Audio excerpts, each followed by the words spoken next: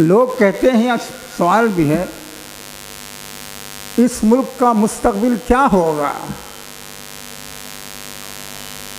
मैं कहता हूँ, इस मुल्क का मुस्तबिल मेरे ये नौजवान हैं।